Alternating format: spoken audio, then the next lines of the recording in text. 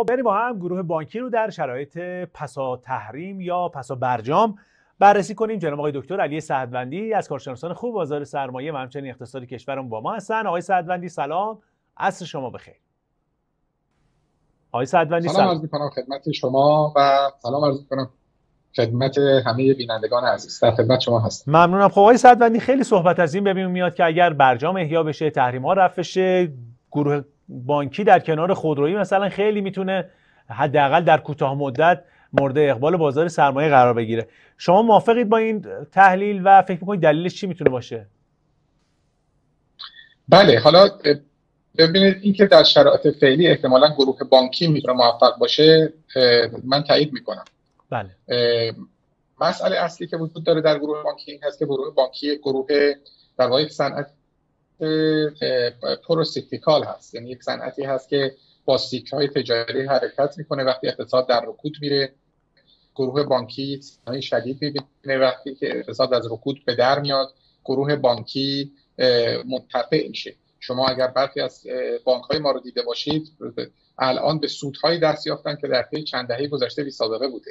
این به دلیل همین خاصیت گروه بانکی هست. الان هم که شما می‌بینید که بانک مرکزی هیچ گونه محدودیتی روی خلق پول ظاهرا نداره. آقای صدوندی ببخشید صدای شما رو ما یه مقدار ضعیف داریم اگر محبت کنید بلندتر صحبت کنید. بازار بین بانکی هم آقای صدوندی صدای شما رو ما یه مقدار ضعیف داریم اگر عرضم این بود که اجازه بدید من تغییر بدم برگردم خدمتتون. بله در خدمت شما هستیم چشم. خدمتتون عرض شود که ما داریم صحبت می‌کنیم با جناب آقای دکتر علی صدوندی از کارشناسان خوب اقتصاد کشورمون و داریم صحبت می‌کنیم در مورد اینکه گروه بانکی قرار هستش که در شرایط پسا برجام یا پسا تحریم چه اتفاقی براش بیفته. خیلی از کارشناسان و حالا فعالان بازار سرمایه معتقدن یا انتظار دارن که آقا داستان گروه بانکی می‌تونه مورد توجه قرار بگیره. از این منظر داریم با آقای دکتر صدوندی صحبت می‌کنیم. حالا اگر ارتباطمون برقرار شده که ما دوباره سلام عرض می‌کنیم خدمت ایشون و در خدمت آقای دکتر صدوندی عزیز هستیم. آقای صدوندی در خدمت شما هستیم. بسیار خب عرض می‌کردم خدمت شما که گروه بانکی یک گروه procyclical هست. یعنی یک گروهی هست که با سیکل تجاری اگر سیکل رونق باشه گروه بانکی بسیار منتفع میشه. اگر که اقتصاد به رکود بره گروه بانکی بسیار متضرر میشه. گروه بانکی در فاصله سالهای 92 تا 97 از جسم سرمایه گذاران به درستی افتاده بود. چون که اقتصاد وارد رکود شده بود در اون زمان سیاست های تورمی که در اون زمان اعمال شد بیشتر از اینکه تورم رو از بین ببره متاسفانه در اقتصاد در اون زمان رکود ایجاد کرده بود. شما ملاحظه فرمودید که بسیاری از سهام های بانکی بودند که حتی زیر 100 تومن مبادله می شدن من حالا نمی‌خوام اینجا نام ببرم ولی حداقل دو سهم بانکی خاطرم هست که بله. قیمتشون در حد 30 تومن و 40 تومن بود. الان کاملا برعکس شده. همون همون بانک هایی که اون زمان به شدت متضرر شده بودند الان از شرایط تورمی بانک ها بسیار منتفع می شوند و انتفاع خیلی بالایی از شرایط تورمی دارن می‌برند. و اینکه اینکه به برجام برگردیم حالا چه تأثیری می‌گذاره؟ ببینید من برداشتم این است که بیشتر از اینکه برجام تاثیر بگذاره اینکه آیا روند خلق پول به همین صورت ادامه پیدا می‌کنه یا نه برای نظام بانکی مهم هست. یعنی نظام بانکی الان شرایط بسیار مناسبی داره بله. چون نرخ تحصیلات و سپرده ها بسیار پایینتر از نرخ تورم هست. وقتی نرخ تحصیلات مثلا خیلی زیر نرخ تورم باشه معمولا افراد اینسنتیو یا انگیزه برای دیفالت ندارند و از بله. این جهت هم نظام بانکی الان شرایط بسیار خوبی داره. درسته. آقای صدوندی صحبت کردید از این موضوع که تورم می‌تونه خبر خوبی برای بانک ها باشه. میشه رابطه بین تورم و حداقل خروج بانک ها از ضرر و زیان یا اینکه افزایش سوداوریشون رو بدونیم؟ بله. ببینید بانک ها به صورت اسمی در واقع از اقتصاد منتفع می‌شوند. در حالی که ببینید عرض کردم خدمتتون مثلا الان نرخ تورم ما در هشت ماه گذشته بدون توقف بالای 45 درصد بوده. یعنی اگر تورم ماهانه رو در نظر بگیریم به صورت نقطه به نقطه و این رو سالیانه کنیم می‌بینیم که در هر ماه نرخ تورمی که برای مقایسه ما معمولا سالیانه می‌کنیم نرخ ماهانه رو. می‌بینیم که نرخ تورم بین 45 درصد تا 50 درصد در نوسان بوده. خب از اون طرف شما ملاحظه میفرمایید که هزینه پول برای بانک ها خیلی پایینه. یعنی مثلا سود سپرده هایی که بانک ها پرداخت می‌کنن یک چیزی مثلا در متوسط اگر در نظر بگیرید یه چیزی حدود 16 17 درصد هست. از اون طرف نرخ بازار بین بانکی هم نسبت به تورم خیلی فاصله عجیبی پیدا کرده و عرض کردم خدمتتون دیروز نرخ بازار بین بانکی به زیر 18 درصد کاهش پیدا کرد. این یعنی هزینه تمام شده پول برای بانک ها بسیار بسیار پایینه. از طرف دیگر وقتی که شما شرایط تورمی دارید همه ببینید در شرایط تورمی بهترین کاسبی این هست که شما از بانک ها پول دریافت کنید. یعنی هر نوع تسهیلاتی شما دریافت کنید. هیچ نوع ارزش افزوده هم اگر ایجاد نکنید. فقط این پول رو تبدیل به کالا بکنید شما برنده خواهید بود. دقت میفرمایید. بنابراین تقاضا در شرایط تورمی تقاضا برای تسهیلات بانکی سر به فلک می‌زنه و از اون طرف در واقع مقدار نکول به شدت کاهش پیدا می‌کنه در شرایط تورمی. چرا؟ چون افراد می‌خوان که باز پرداخت بکنن که دوباره بتوانند از این خانه از این سفره گسترده بهره مند بشوند. دقت میفرمایید. بنابراین بله. شرایط تورمی معمولا بانک ها خیلی دوستدار شرایط تورمی هستند و شرایط تورمی اتفاقا یکی از معدود صنایعی رو که تقویت می‌کنه صنعت بانکداری است. بله. آقای دکتر طی سالیان گذشتم خیلی صحبت کردیم گفتیم آقا بانک ها بنگاهداری نکنید. خیلی هم میگن که برخی از بانک ها میان سرمایه گذاری می‌کنن تو بازار مسکن حتی لوکس سازی و نمی‌دونم از این داستان ها این موضوع هم می‌تونه به حال کمک کنه. یعنی از این جهت میگم که تورمی که ما در بنگاه ها داریم نمی‌دونم در بخش مسکن داریم هم می‌تونه تا حدودی بیاد کمک حال بانک ها به ویژه در صورت های مالیشون باشه. به صورت دیگری خدمت شما عرض می‌کنم. ببینید در فاصله سالهای 92 تا 97 خب وضعیت همونطور که بازار سهام به رکود عمیقی رفت بله. همونطور هم بازار ملک به رکود رفت. کل بازار دارایی ها به رکود رفته بود. وقتی که شما ارزش ملکتون افزایش پیدا نمی‌کنه ولی از اون طرف تسهیلاتی که این ملک ها یعنی مستقلات پشتوانه اون تسهیلات بودن مرتب داره هر روز هر ساعت داره این تسهیلات اضافه میشه. دقت میفرمایید. بله. به جای خواهد رسید که بسیاری از تسهیلات گیرندگان ترجیح می‌دهند که باز پرداخت نکنن نکول کنن و بانک مثلا مترو ببره. این یکی از دلایلی بود که بانک ها مواجه شدن با تعداد زیادی مستقلات. برعکس در شرایط تورمی اگر فردی تسهیلات مستقلات رو به عنوان وسیقه در اختیار بانک قرار داده باشه خب ملاحظه می‌کنید که حتی در امسال که واقعا هیچ اقتصاددانی هیچ کدوم از اساتیدی که ما می‌شناسیم تحت عنوان استاد اقتصاد مسکن هیچ کس پیش بینی نکرد که امسال دیگه قیمت مسکن رشد داشته باشه. ولی با این حال ما در ماه اردیبهشت رشد سه درصدی قیمت ملک رو داشتیم. پس این نشون میده که ارزش وسایق مرتب در حال افزایشه. در این شرایط معمولا تحصیلات گیرندگان از هر روشی شده پول رو تأمین می‌کنن به بانک پرداخت می‌کنن که کار به وسیقه نکشه. درست یعنی یعنی در هر حالت این شرایط تورمی به نفع نظام بانکی است. بله. آقای دکتر یه نکته دیگه هم در مورد این داستان برجام و پس و برجام و پس و تحریم و تاثیرشون رو گروه های بانکی. این داستان نرخ ارز هستش. خیلی ها به حال پیش بینیشون این هستش که اگر برجام احیا بشه و تحریم ها رو رفع شده ببینیم حداقل به لحاظ روانی و هیجانی ممکنه در چند روز اول ما این کاهش ارزشی رو در نرخ دلار داشته باشیم. شما پیش بینیتون از این موضوع چیه تا آخر سال؟ ارز رو چطور می‌بینید دلار رو مشخصا و اینکه فکر می‌کنید چه رابطه بین گروه بانکی و خدمتتون عرض شود که نرخ ارز به ویژه دلار وجود داره با توجه به اون داستانهای تسعیر ارز و از این موضوعات. بله ببینید مسئله نرخ ارز به نظر من می‌رسید که مهمترین تهدید بازار هست. اگر برجام به سرعت اجرا می‌شد برنامه دولت مستقر این بود که نرخ ارز رو کاهش بده حتی بله. از زبان سخنگوی دولت نرخ 11 تومن حتی شنیده شد دقت بفرمایید از دهان ایشون نرخ 11 تومن بیرون اومد بله. این نرخ نرخ زیر 20 تومن به باور بنده بازار سرمایه رو متاسفانه به رکود می‌بره به رکود شدید می‌بره در مورد نظام بانکی مقدار قضیه پیچیده تر از این هست چون بله. بخش بزرگی از دارایی های اون بانک هایی که تحت عنوان بانک های مثلا بانک های فعال در تجارت خارجی شناخته می شدن بخش عمده دارایی های ارزیشون به صورت تسهیلات ارزی هست. بله. که حالا بخشی از اون نکول شده. اینو دقت بفرمایید. بنابراین تحلیل انقدر ساده نیست که ما به همین دلیل این, این همین همین مسئله دلیل این بوده که بانک مرکزی مقاومت می‌کرد در مقابل افزایش نرخ تسعیر ارز.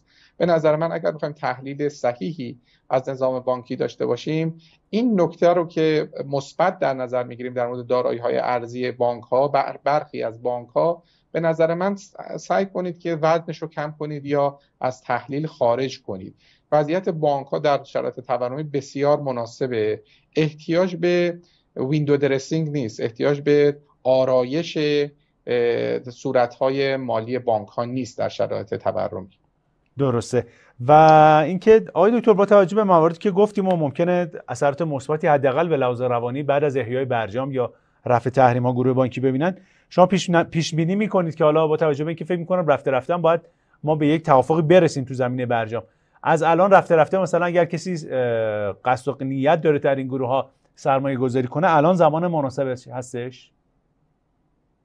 بله قطعا من فکر می‌کنم شما می‌دونید بنده محتاط هستم در بله.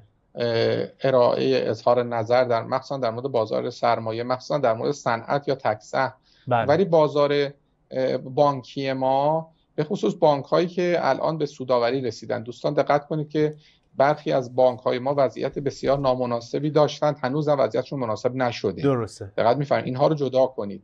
ولی ولی الان دیگه در صنعت بانکداری ما روی تک سهم صحبت نمی کنیم روی تعداد زیادی سهم می‌تونیم صحبت کنیم که وضعیت مناسبی از نظر ارزش دارند از نظر جریان کشفلو دارند. تنها در شرایطی این وضعیت بانکی ممکنه تغییر کنه که دولت جدید رو به کنترل تورم بیاره یعنی سیاست های ضد تورمی در پیش بگیره که فعلا هیچ نوع ایندیکیشنی در این زمینه من ملاحظه نکردم و تاکید بر این هست که شرایط تورمی ادامه پیدا کنه به خصوص که دولت جدید هم ظاهرا اقتصاد خانده هایی که نزدیک به دولت جدید هستند روی کاهش نرخ بازار بین بانکی تاکید دارند بنابراین به نظر می‌رسه حداقل تا چند ماه آینده بانک ها وضعیت مناسبی داشته باشند. به یک سوالی هم فقط شما فرمودید من پاسخ بله. بدم در مورد ارز هم که شما فرمودید. با این رشد نقدینگی که الان داره صورت می‌گیره که مثلا نرخ تورم نرخ رکورد 75 ساله رو شکسته ما به سرعت اون نرخ ارزش ذاتی که برای ارز در نظر می گرفتیم به سرعت داره افزایش پیدا می‌کنه. من به همین بسنده می‌کنم همین فکر می‌کنم برای کسانی که العاقل و یکفی اشاره. درسته. آقای دکتر بله. یه پیامکی ما داریم 912 20 51 آقای ایمانی. دو یعنی دو تا سوال مطرح کردن تو پیامکشون. یکی اینکه گفتن از آقای دکتر سعدوندی بپرسیم که تاثیر تاثیر ارز بر گروه بانکی چه خواهد بود؟ و از طرف دیگه گفتن اگر بخوان آقای سعدوندی پورتفوی از گروه بانکی بچینن به چه صورت این کار رو انجام میده؟ حالا اجازه بدید که من پورتفوی نچینم. دیگه احساس صمیمیت کردن ولی یک چیزی می‌تونم خدمتتون عرض کنم. اونم این هست که اون ETF بانکی که تشکیل شد و ما این همه انتقاد کردیم در مورد اون ETF بانکی که به نظر من بالاخره مالکیت رو منتقل می‌کرد ولی مدیریت رو منتقل نمی‌کرد این واقعا نظر اخلاقی درست نبود. به نام دارایی کم الان وضعیت مناسبی داره. اینم یک نکته است که باید اضافه می‌کردیم.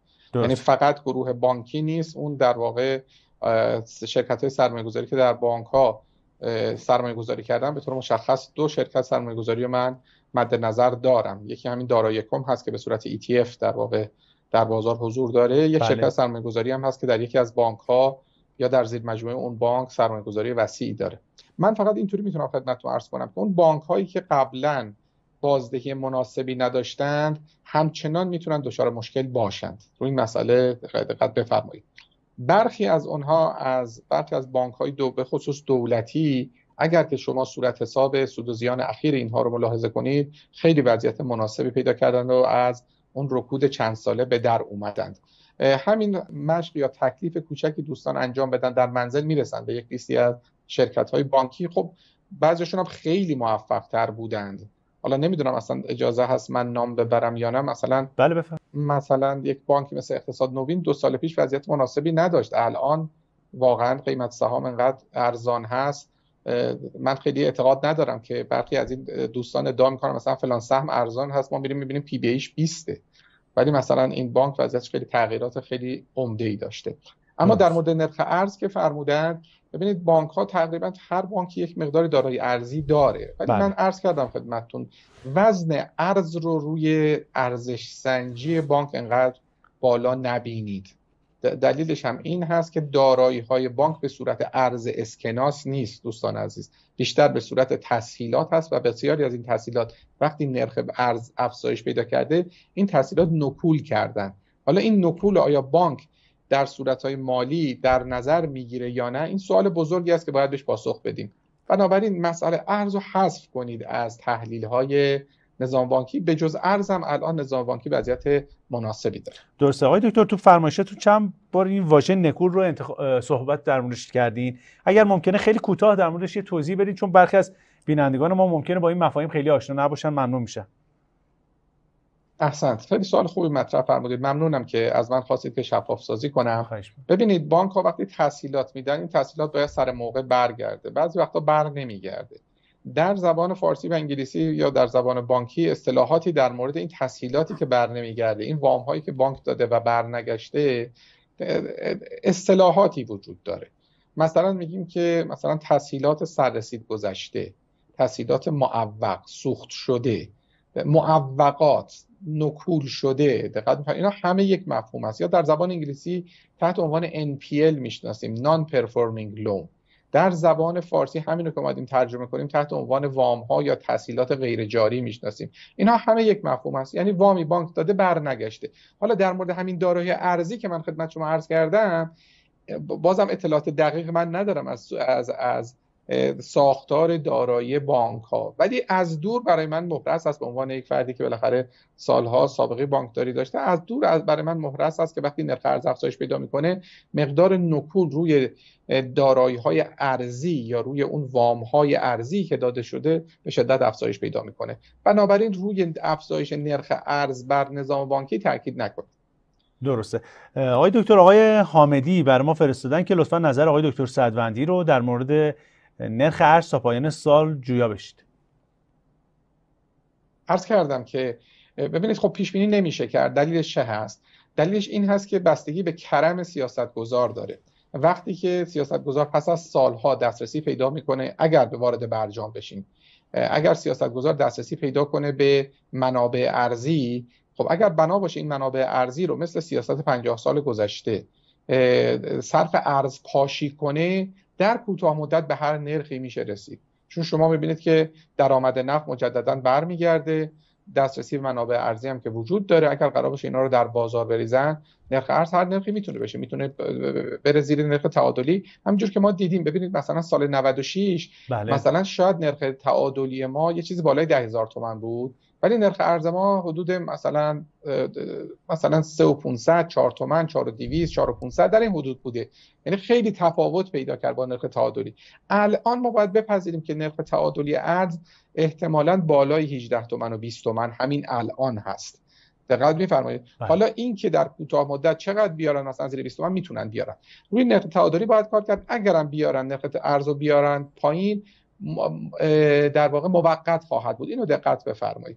حالا ممکنه که مثلا از نیمه چهارم نیمه سوم سال شروع کنن یا نیمه چهار ببخشید نیمه دوم سال شروع کنن یا سه ماهه چهارم سال شروع کنن. یعنی مثلا از ماه دی شروع کنن به ارز باشی خب می‌تونن دو ماه سه ماه چهار ماه نرخ ارز رو کاهش بدن به هر نرخی بخوان می‌تونن برسونن. به 15 تومن 12 تومن 11 تومن هر چی دلش بخواد می‌تونن برسونن. ولی مطمئن باشید پایدار نیست چون نرخ مردم هم آگاه شدن. در بله. گذشته وقتی نرخ میومد زیر نرخ تعادلی طول می‌کشید تا برگرده به نرخ تعادلی. به باور بنده این دفعه اگر نرخ ارز و بنا باشه که منابع ارزی ارز، ارزشمند کشور رو به آتیش بکشیم و در بازار تزریق کنیم سه چهار ماه بیشتر ادامه پیدا نخواهد کرد و باورم این است که بازار سرمایه هم انقدرها نخواهد ترسید از این کاهش نرخ ارز چون مجددا افزایش پیدا خواهد کرد. باز هم البته شک هست که آیا ما به برجام برگردیم یا بر نگردیم این هم نکته دیگری است. اگر بر نگردیم من برداشتم این است که نرخ ارز از همین نرخ امروز حداقل باید 20 درصد رو تا آخر سال افزایش داشته باشه. درسته. اتفاقا آقای دکتر یه پیامکی برای ما فرستادن. چند تا موضوع رو مطرح کردن یعنی پیش بینی شما رو خواستن یکیش همین برجامه.